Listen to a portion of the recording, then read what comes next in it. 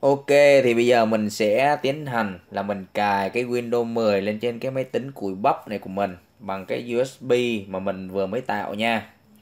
Thì bây giờ mình sẽ mở máy tính lên và mình cắm cái USB vào. Sau đó mình sẽ nhấn à, F12 trên bàn phím liên tục nha. Nhấn phím F12 trên bàn phím liên tục.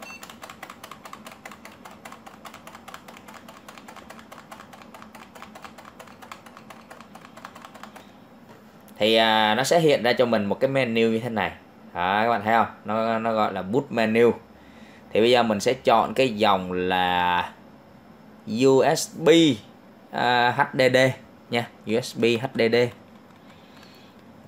nó có nhiều cái USB lắm. USB HDD USB CD-ROM thì mình chọn cái USB HDD trước. Nếu như mà nó không được ấy, thì mình sẽ khởi động máy lại. Mình chọn lại là USB CD-ROM thì mình làm cái này không được thì mình chọn cái khác thôi. Đơn giản đâu sao đâu.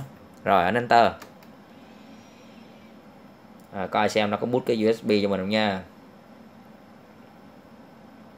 Rồi ok tuyệt vời luôn. Nó đã bút được cái USB cho mình rồi. Đấy, các bạn thấy không? Có logo Windows 10 nó hiện lên kìa. Đó vậy là nó đã nhận được cái USB vậy là mình chọn đúng. Vậy thì các bạn à, cứ nhấn F12 rồi các bạn chọn là USB HDD nha. Rồi, chúng ta chờ một xíu để cho nó load vào những cái file cài đặt của Windows 10. Rồi mình sẽ tiến hành là mình cài lên ha. Ok, thì bây giờ nó đã xuất hiện lên cái giao diện cài đặt của Windows 10 rồi. Bây giờ chúng ta sẽ bấm vào cái nút Next ở đây nha rồi, chúng ta cài đặt bình thường ấn install now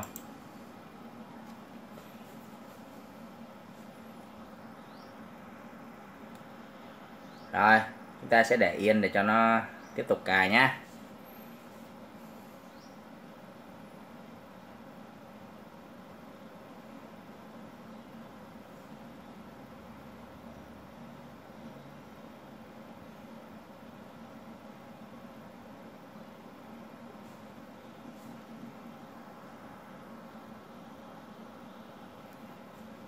đấy rồi nó sẽ xuất hiện ra cái bảng này. Nó kêu chúng ta là nhập cái key vào cái số series đó. Thì nếu như các bạn mà có mua cái à, số series bản quyền ấy, thì các bạn sẽ nhập vào đây. Còn nếu như các bạn không có thì các bạn cứ à, bấm skip đi ha. Skip đi. Lát nữa mình cài xong mình tính sau ha. Skip. Rồi ở chỗ này nó sẽ cho chúng ta chọn hai phiên bản một phiên bản là Pro và một phiên bản là Home. Thì mình sẽ cài phiên bản Pro ha. Cài phiên bản Pro. Mình chọn Pro và mình nhấn Next.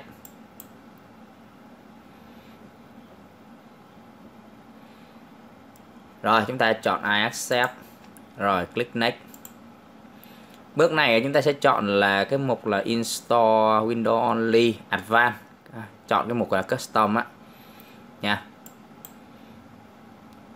Rồi tiếp theo chúng ta sẽ chọn cái phân vùng mà chúng ta muốn cài lên. Thì ở đây các bạn nhớ là các bạn à, chọn cái phân vùng nào thì các bạn phải nhớ nha. Ở đây là mình có cái phân vùng đây mình đã đặt tên rồi.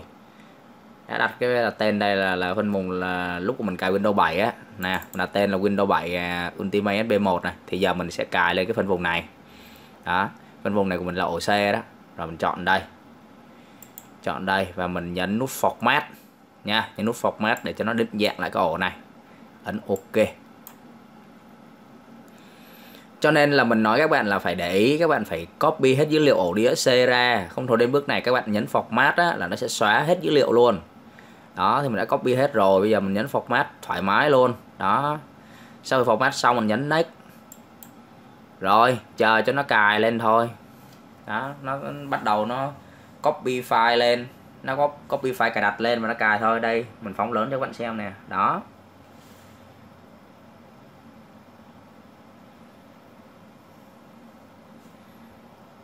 Nó tiến hành nó copy lên thôi và nó cài. Rồi, ok. Thì tới đây mình à, cứ để cho nó copy đi ha. Khi nào nó cài xong thì mình à, tiếp tục mình chia sẻ các bạn tiếp. Thì trong một quá, trong quá trình cài đặt á, nó có nhiều lần nó sẽ tự động, nó khởi động máy tính lại. Thì các bạn cũng đừng có lo gì hết á. Cứ để cho nó cài đi. Cài tự nhiên thoải mái đi. Khi nào nó cài xong mình tính tiếp. Ha, ok.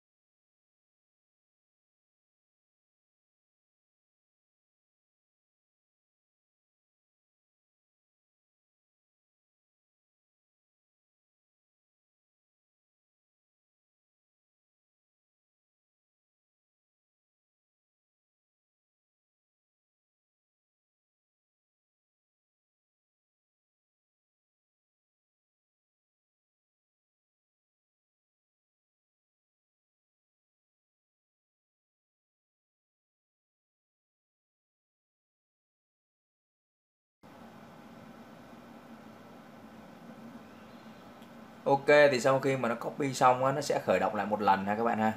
Và chúng ta sẽ tiếp tục chờ cho nó cài đặt tiếp. Đây là lần à, khởi động có logo đầu tiên nè. Đó.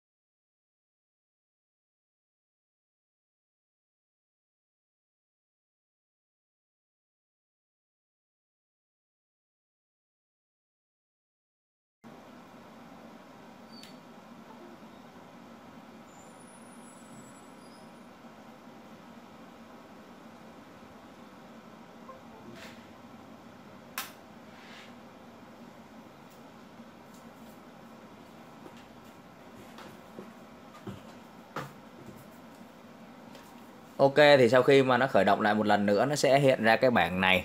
Nó lại kêu chúng ta nhập cái CD key vào. Thì à, giống như ban đầu mình có nói nếu như các bạn à, mua Windows bản quyền thì các bạn sẽ có một cái số CD key và các bạn nhập vào đây. Còn nếu như các bạn không có thì các bạn cứ bỏ qua cái bước này đi. Lát nó mình cài xong rồi mình tính tiếp. Thì mình chọn là do this later ở đây nha. Bấm đây. Rồi cái bước này nó hỏi chúng ta có muốn kết nối vô cái mạng à, à, internet của chúng ta hay không. Thì à, nếu chúng ta có thì chúng ta kết nối còn không có thì thôi. Thì à, cái bước này mình có nhưng mà mình không kết nối. Mình chọn là skip cái bước này đi bỏ đi cho nó đỡ lằng nhằng. Thì mình lưu ý các bạn là khi mà cài đặt à, internet à, cài đặt máy á các bạn đừng có kết nối internet ha cho nó khỏi lằng nhằng. Rồi cái bước này á thì à, có hai lựa chọn. Chúng ta sẽ chọn là cài đặt tự động và cài đặt thủ công. Thì à, mình thì mình cứ à, chọn uh, tự động đi cho nó dễ ha. View Express Setting ở đây. Rồi cho nó tự động nó cài. Chúng ta lại tiếp tục chờ một lúc nữa cho nó cài đi ha. Cho nó cài xong rồi mình tính tiếp.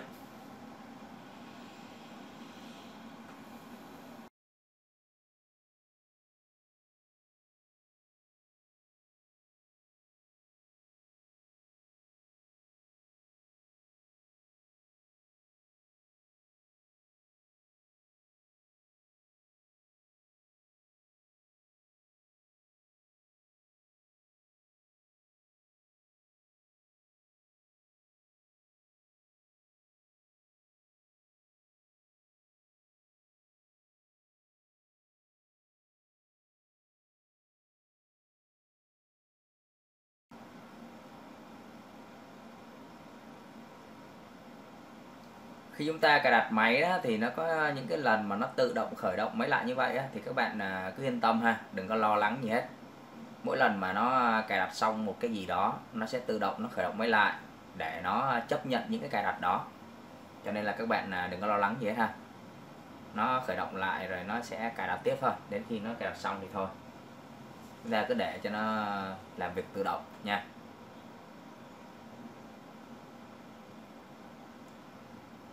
Rồi đến cái bước này lại kêu nhập key tiếp.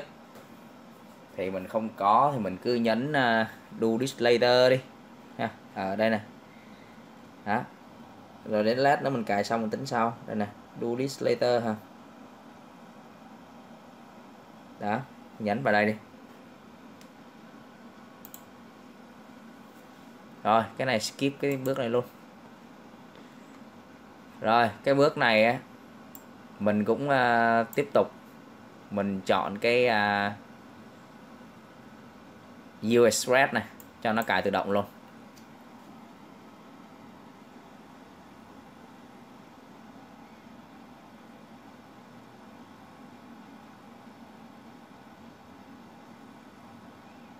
Thì nó sẽ qua nhiều cái mục như thế này.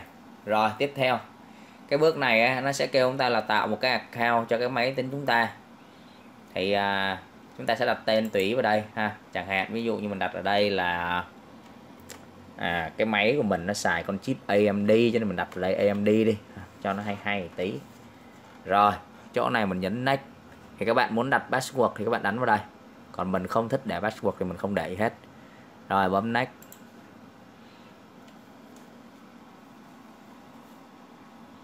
Rồi tiếp tục để cho nó tự động. Đó chào đó hai. Rồi tiếp tục cài. Rồi cứ cài đi cài thoải mái đi. Cài khi nào xong rồi mình làm tiếp. Đó, đến cái bước này thì nó chạy cũng hơi bị rườm rà nó cũng hơi lâu đó cho nên là chúng ta cứ mặc kệ nó để cho nó cài ha.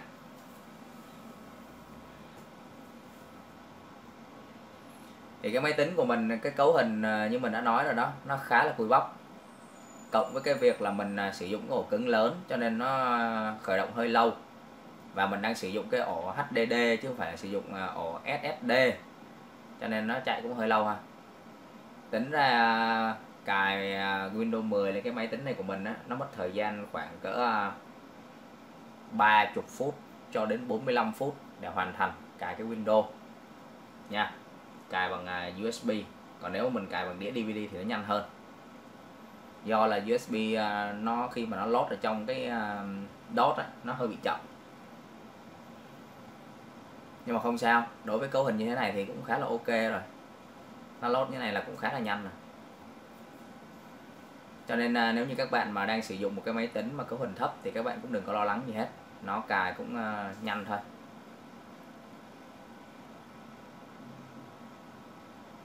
Đó nó xong rồi đó. Nó bắt đầu nó vô rồi đó ok, đã vào được cái Windows 10 rồi. Đó, các bạn thấy chưa? Ngon lành chưa? Ngon lành chưa cái máy của mình nè? Đó, vô Windows 10 nè. Đó, sướng chưa? Đã chưa? Cho các bạn nhìn nè, lé mắt luôn. Tuyệt vời luôn. Đó, thấy chưa? Đây, kiểm tra cho các bạn xem nè, sướng luôn. Đó, chạy pha pha lên đó thì mình à, cài bằng à, cái USB đó các bạn. Mình vừa cài bằng cái USB đó. Thì à, mình đã nói từ ban đầu rồi cài bằng cái phương pháp nào cũng vậy hình thức nào cũng vậy. USB hoặc là ổ cứng hoặc là cái uh, file ISO hay là hoặc là đĩa DVD thì nó chỉ khác cái là mình chọn cái hình thức mình cài thôi. Còn khi mình cài đặt đó nó vô được tới trong cái cài đặt đó, thì cài bằng cái gì nó cũng như nhau hết các bạn nhé không có khác gì hết đó, chạy pha pha thôi. Đó các bạn nhìn nè. Sau khi mà mình cài xong á nè cái ổ đĩa C của mình nè các bạn nhìn nè. Cái ổ đĩa C của mình á là mình à, để là dung lượng cái ổ đĩa C của mình là 150 GB mình cài xong thì nó còn có 136 GB à. ha còn có 136 GB à. thì tổng cộng là nó hết bao nhiêu ta? Mình trừ đi thử coi nào. Calculator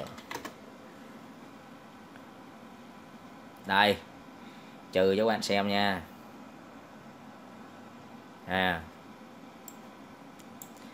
150 trừ 136 nè. Là tổng cộng á, cái win này nó hết 14 ghi ha. 14 ghi mà chưa có phần mềm gì cài vô hết á. Đó. đó cái bản win này không nó chiếm hết 14 ghi rồi sau khi mà cài xong thì mình tiến hành mình đặt tên cái ổ đĩa này đi để cho lát đó mình có làm gì cho dễ nhớ ha chẳng hạn như mình đặt là Windows 10 Windows 10 uh, à, Pro X64 rồi enter rồi continue. Xong. Đó. Rồi. Mình kiểm tra một số thứ. Mình kiểm tra một số thứ trong này xem là nó ok chưa ha. Control panel nè. Rồi bấm vào đây chọn O. Rồi mình tiếp tục mình chọn cái mục là system. Ở đây đấy các bạn nhìn thấy chưa? Windows 10 này. Đấy và nó bảo mình là phải kết nối với internet để active Windows này các bạn thấy chưa? Thì active này đâu? Lát nữa mình sẽ active cho các bạn xem nó đơn giản lắm. Đó, cấu hình máy tính mình nè không? Đơn giản thôi cùi bắp lắm có gì hết á. Rồi mình vào đây mình kiểm tra thử xem nó có nhận đủ driver chưa nha. Ấn device manager nè. Đó. vào cái mục này các bạn nhìn nè đó, cạc hình của mình nó chưa nhận này các bạn. Nó đang báo là Microsoft Basic này, đó, nó chưa có nhận đúng cái driver này thấy không?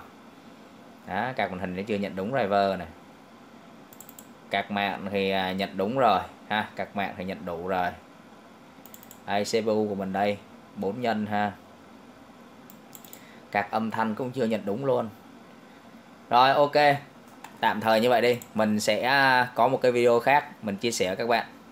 Cái cách à, À, uh, active cái window này cũng như là cài cái driver cho nó đủ ha.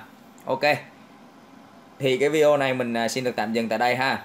Rất cảm ơn các bạn đã một chút thời gian theo dõi. Nếu các bạn thấy cái video này còn hữu ích á, các bạn hãy chia sẻ nó cho những người khác cùng xem với nha.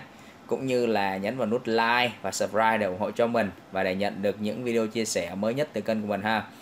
Thì à, chúc các bạn thành công và các bạn sẽ cài đặt được cái Windows 10 lên cái máy tính cùi bắp của các bạn nha. Ok, xin chào các bạn và hẹn gặp lại các bạn trong những video chia sẻ tiếp theo nha.